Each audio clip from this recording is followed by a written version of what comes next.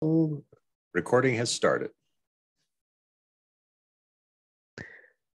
Hello, everyone. Welcome to the weekly infrastructure meeting team. So for the 8th of August 2021. Uh, so let's start by announcements. So we have been able to release Jenkins 2.306. So congratulations to everyone involved in that weekly release. The checklist is complete. Um, Mark, you might have a word about the Docker image on that topic. Oh, yes. So the Docker image definitions add some new tags. Uh, previously, the tags were latest, slim, alpine.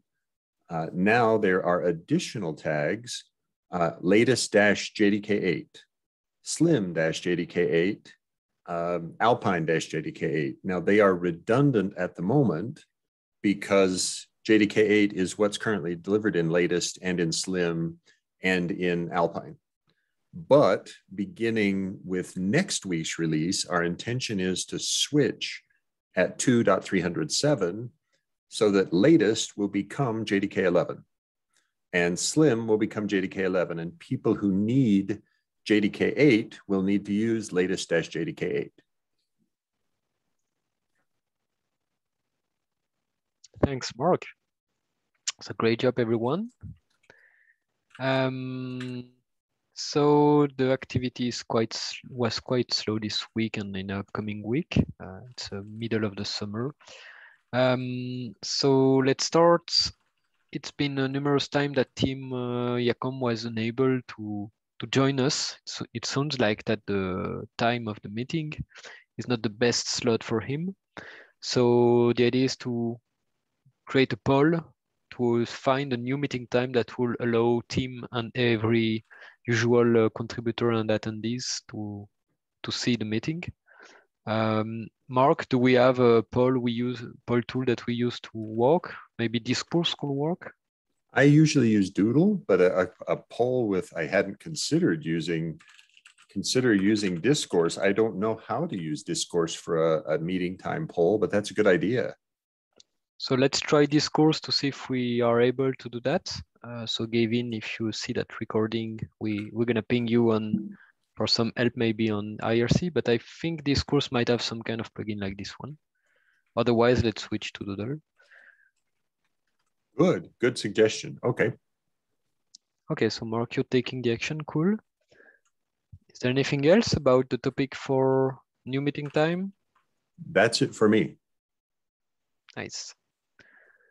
Um, on my side, uh, I'm working on CI Jenkins IO. So uh, work in progress for ACI and Kubernetes. So the goal is to still to move some workload. Um, I did not work a lot on that part right now. I was uh, more focusing on the Puppet uh, Puppet code. So I took some trainings to master a bit. The reason is the second point is because I will want to implement as soon as possible an automatic uh, update of the agent templates. So right now it's doable quite easily with update CLI for the Azure templates. However, for the AMI, um, there might be some work to be done there. So I need a bunch of update CLI uh, contribution and a Puppet code. So I was working on that part, experimenting. Um, we discussed with Olivier before his holidays that still the ACI to Kubernetes should be uh, the priority. So I'm gonna resume that work uh, starting from tomorrow.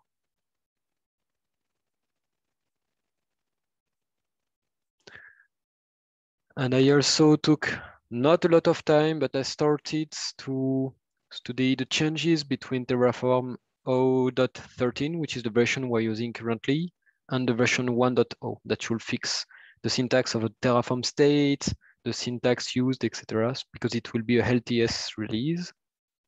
Um, right now, I've worked on the AWS as a test, but um, I've been blocked and I stopped at that part. I realized that before uh, going to 1.0, I need to update all the Terraform module we are using.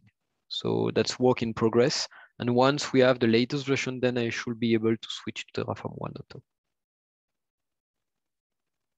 Uh, the reason of that change, as a reminder, it's because uh, we'll have to start resources on DigitalOcean and Scaleway, our new sponsors, and also eventually uh, on Oracle Cloud as well, because it works with Terraform. So the goal is to have an unified and long-term support for managing infrastructure as code there.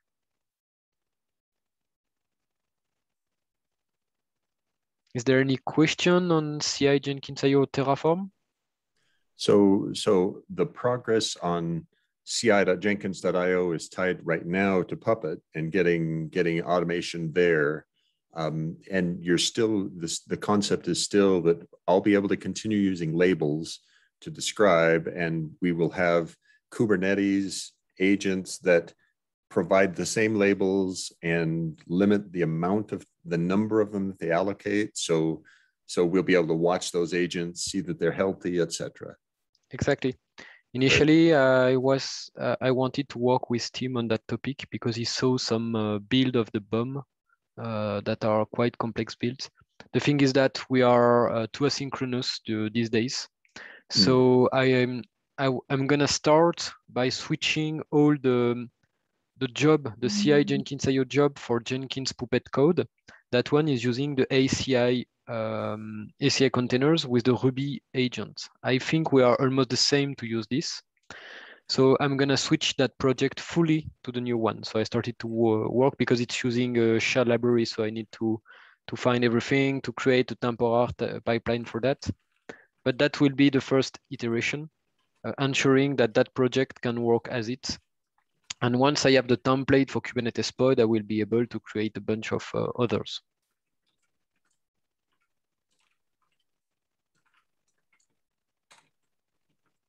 Great, thank you. Thanks very much, Damien. And finally, so that's a topic on you, Mark, the preparing the Docker image JDK change. Yeah, so so as a reminder, next week's 2.307 release will switch the Docker image, and then one week later, we'll switch the Docker image for the LTS. So, and the intent also is to switch the agent images next week. Uh, it probably won't be next Tuesday because next Tuesday will be dominated by by delivery of the weekly, but think Wednesday or Thursday, agent images will switch. Uh, that means between that switch and the release of the next LTS, some users will be switching to run that their agents will run with uh, JDK 8 rather than with JDK 11 as the hosted or as the eight Java version running that agent. So agent, agent image changes in addition to the controller image. And that's all that I needed to share there, Damien.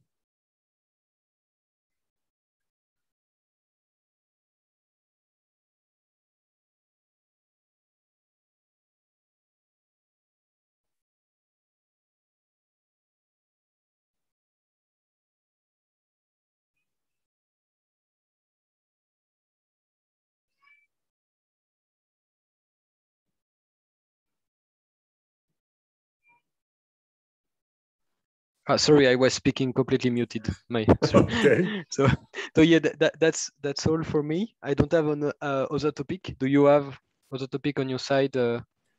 None, none from me. I'll go decode how we do the how we do the um, the poll with discourse. I've never done a a discourse calendar poll before, and we'll mm -hmm. we'll see what we learn. Cool. So that's all for today. So let's see by default uh, in one week, unless we already have a result for the poll. But by default, let's see uh, at least next week for the next uh, meeting point. Right. See you next week. See you next week. Bye-bye. Bye-bye.